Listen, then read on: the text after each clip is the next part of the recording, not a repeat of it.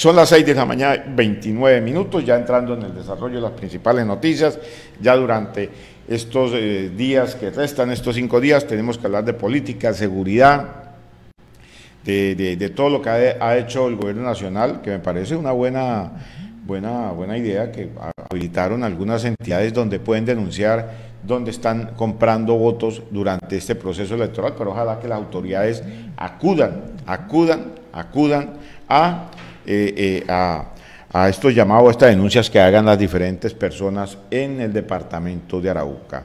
Y a esta hora de la mañana en nuestra agenda informativa pues habla el ministro del Interior, Luis Fernando Velasco, quien dijo que ya era el último, como se dice, comité de seguimiento electoral con todas las autoridades a nivel nacional, también con las autoridades regionales sobre este proceso electoral para mm, tomar medidas durante este fin de semana, que ya a partir de hoy ya las autoridades tienen que estar, como se dicen en las calles, tienen que estar eh, eh, atentos a lo que pueda suceder con este proceso electoral. Ayer pudimos observar aquí en Arauca que gran cantidad de policías salieron a las calles, o sea que lo que uno dice, bueno, tiene que haber un proceso electoral o venir un expresidente o venir alguien del gobierno nacional para que las autoridades estén en la calle. A esta hora de la mañana presentamos al ministro del Interior, Luis Fernando Velasco, donde dice que ya está todo listo para las elecciones regionales, que garantizan la seguridad, que habilitaron unas entidades donde pueden denunciar la compra de votos o el trasteo, como se dice, de traer personas de otras regiones a votar aquí, en este caso en Arauca, la zona de frontera. Terminarse la que podría ser la última comisión de seguimiento electoral por lo menos ordinaria, porque en cualquier momento podríamos convocar una extraordinaria antes del proceso electoral que se desarrollará el próximo domingo.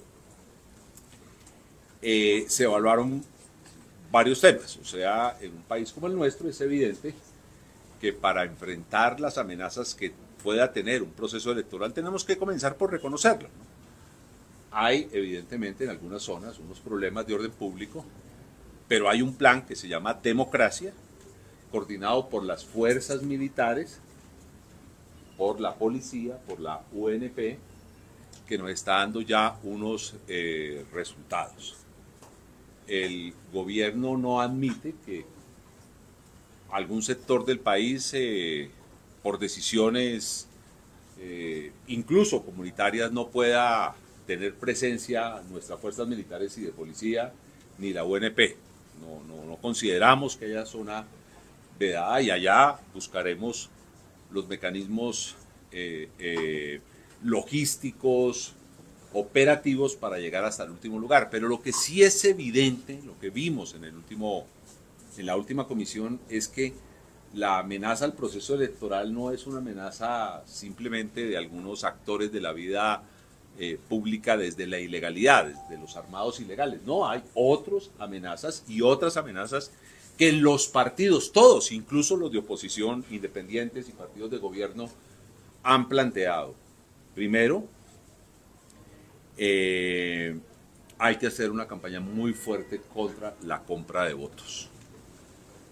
El gobierno termina de estudiar eh, la vía jurídica y la posibilidad jurídica y estamos pensando seriamente si la respuesta del estudio que nos está haciendo la Comisión de Democracia del Ministerio del Interior nos señala que es posible de anunciar incentivos económicos a las personas que nos ayuden a detectar quién compra votos.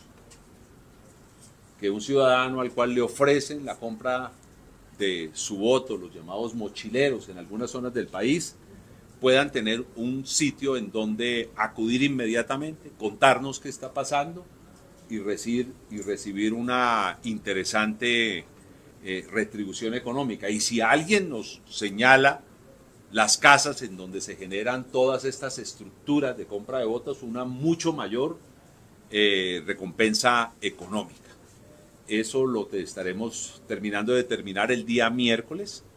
Al presidente le ha parecido una buena idea, la comisión de seguimiento se comentó, no se tomó una decisión, en eso tengo que ser claro, pero es evidente que es una decisión interna del gobierno, que si jurídicamente lo podemos hacer, lo vamos a hacer.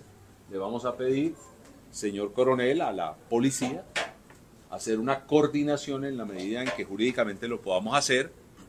Insisto, el tema de entregar incentivos económicos porque nos ayuden a detectar quién compra votos en este país para que la policía judicial, en unas zonas específicas de Colombia, evidentemente no podremos cubrir todo Colombia, pero en unas zonas específicas de Colombia, hagan esa acción. Pero además es una acción que no solo hacemos con nuestra fuerza pública. Debo reconocer el esfuerzo que ha hecho la registraduría por crecer la biometría. Y ustedes me dirán qué tiene que ver la biometría con la compra de votos. Un mecanismo de compra de votos es la persona que hace el carrusel, que va usando cédulas en mesas electorales que ya están previamente señaladas y una misma persona con distintas cédulas va y vota varias veces. En el 100%, a manera de ejemplo, de Soledad y 50% de Barranquilla, de las mesas, no de los puestos de votación, de las mesas de votación, cuando el ciudadano llegue a votar, le van a hacer la prueba de biometría. Si la cédula no coincide con la prueba de biometría, podemos estar ante la suplantación del elector y podemos estar configurando incluso un delito. Y ahí mismo entraremos a actuar. Yo le pido a la gente que se presta para este tipo de prácticas que sean muy cuidadosos porque en muchas mesas de Colombia habrá biometría. Y si el que llega a votar no es el legitimado para votar y lo vamos a detectar inmediatamente con la biometría, puede terminar en un lío de carácter penal muy grave, un lío que da cárcel.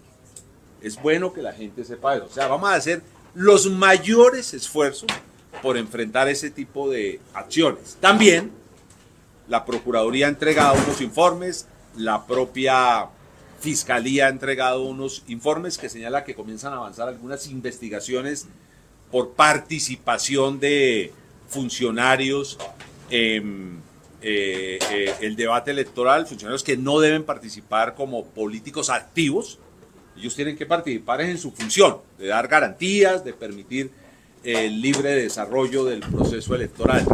También he pedido, como ministro del Interior, mucho cuidado con las actuaciones que se hacen en momentos de emergencia, cuando se entregan mercados por parte de autoridades locales, regionales y aún nacionales. Si es una emergencia, la idea es que este tipo de acciones sean acompañadas por Cruz Roja, Defensa Civil, por el propio ejército, para que se evite que se use ese tipo de ayudas que entrega toda la sociedad a través del gobierno a una persona, que se use ese tipo de ayudas para compra de votos. ¿Por qué ha ocurrido? Nosotros mismos estamos colocando unos límites a nuestros propios funcionarios porque queremos que haya una elección eh, eh, transparente. Eh, la MOE ha hecho unas solicitudes muy prudentes que nosotros respaldamos. Queremos saber en dónde están las 700 mil o más cédulas que se anularon. Es una, en dónde están los 1.600 tal vez, usted me corrige, 1.800 candidatos que se declararon inhabilitados, pues es bueno saberlo, entre otras cosas para que los jurados sepan. Nosotros todo lo que sea transparencia, todo lo que sea poder eh, hacer un buen proceso electoral, lo acompañamos.